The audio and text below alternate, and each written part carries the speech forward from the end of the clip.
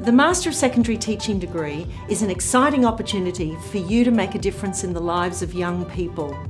If you've ever wanted to have a career change and thought about secondary teaching, then now is the time to make the switch.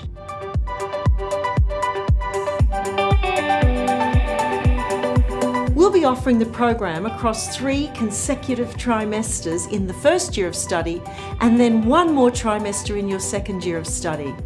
This will mean that you'll be out there making a difference to the lives of young people much sooner than at other universities that run a semester program. Within this new degree, there will be an opportunity for you to engage in three placements in secondary schools. You'll work alongside teachers and university liaison staff to hone and develop your skills for 21st century teaching.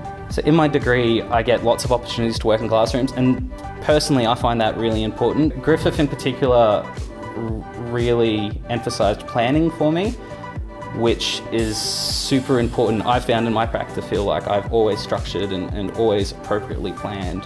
Uh, this is the first time I've had a Griffith student and I was really pleased with the outcome and who I got. We have worked really well together and he's come in prepared, he's asked questions, we've worked well as a team.